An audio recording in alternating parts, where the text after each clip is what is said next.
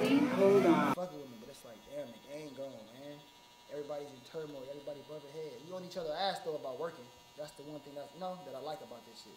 But it's like niggas wanna give up. Homies that's doing music, other shit, art codes, whatever, it's like where you came from. Cause if people sit here and go, ha, you stupid ass bitch. With Drakeo, ha, you trying to come here, ah, bitch. Do it right. We're gonna do it right. How is the loss of like Drakeo and shit and catching the same year affected everybody? like a, just imagine you got a gang of cousins and brothers and homies and shit, you know, and you lose a friend, everybody gonna blame each other. Why you didn't do this or where was niggas at and why you, you know what I mean? Not even speaking on far as the situation period, just like everybody just blaming each other. We hurt, we don't know where to go, how to do it. It's a bunch of street niggas that get money and pit and, and, and break, you know, shit like that. They don't know how to express themselves when they hurt them. Sit down and talk to a nigga, put them to the side. It's anger, frustration, pointing fingers, blame. It's getting better though, man. So we starting to realize, bitch, you pointing that finger at me, bitch, I didn't do that. You pointing this finger, three more pointing at you. What about when you did that? You know, it's getting mm-hmm. tired and it's getting old. So everybody like, you know what? Let's make this shit make sense, man. Hopefully, you know, just whole shit with the homie. I left this shit going. Like you said, what I told you, bro, when we was driving. Nigga said nigga ran, but y'all never seen nobody face. Of course, if you already fought, look at what's a thousand motherfuckers, you're gonna be backing up, right? On your shit though, right? Like this, come on, man. It's real life shit, bro.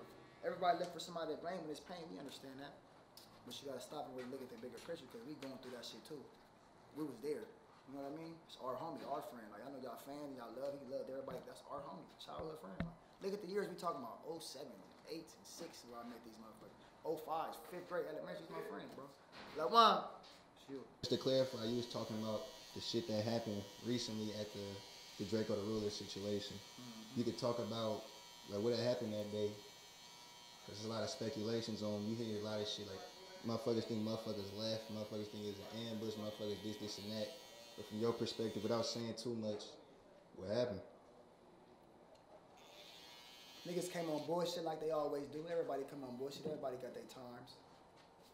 But if a motherfucker not together, we lost. What was going on And that I- day? Separation. They was over there, we was over there. And when it cracked off, we wasn't even together. That's why y'all see these videos. I ain't saying too much, but when y'all see the videos, what is it? Everybody running straight. You see motherfucker. You don't see nobody running backward. You see people running towards it, right? Because we wasn't even together to do nothing. So let's take it back to before you even got to that. What was y'all doing? I know y'all did y'all set and shit like that. So what, No, we didn't do the set. y'all didn't get to do y'all set. That nigga wasn't there. Drakeo, the ruler, wasn't there no time at all. Mm. He wasn't there. It didn't even. It happened like it was. You know. Like damn, that's damn. How was this set up? How was this planned on the real? Because like I said, we was there checking in. We've been there all day. I personally was there all day. I ain't gonna say who I was with, but I check. You know, of the check-in team. So we there. Niggas said, damn, should we leave go with the homies? Now let's stay here, man. Make sure it's cool for them. Make sure it's you know feasible. Niggas got com- you know it's comfortable. We run into everybody who we think we gonna bump heads with. Ain't nothing happening. It's a couple of us. Nothing happens. As soon as we separated and he pull up and he way over there, we don't even know he right there with our for sure. Niggas getting piece in, see, way it's get like. So how can we possibly, man, my bad. Going back to that day, I know it's chaos. You could tell us what's going through your mind and trying to just survive that situation. I ain't gonna lie, gang, it's too early for that one. I, mean, I tried, I tried to, I can't. It's fucking with me. I can't really answer it, dude. I I'm understand. sorry, I apologize. Nah, you good. You good. I understand that.